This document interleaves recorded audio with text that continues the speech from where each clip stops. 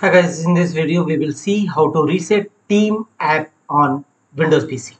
Microsoft Team app, if we want to reset this app, here are the procedures. Right click on start button and choose settings. You may press Win plus I shortcut key to launch Windows settings. Here from the left side, go to apps. Thereafter go to right side and click on installed apps here in search field type type team and click on three horizontal dot against Microsoft Teams and choose advanced options.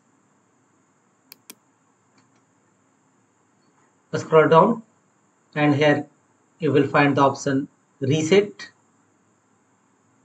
If this app is not working right, we can try to repair it. The app's data would not be affected if you want if you choose repair then apps data would not be affected. And if you choose reset the apps data will be deleted. From where you can easily choose repair reset and uninstall microsoft team app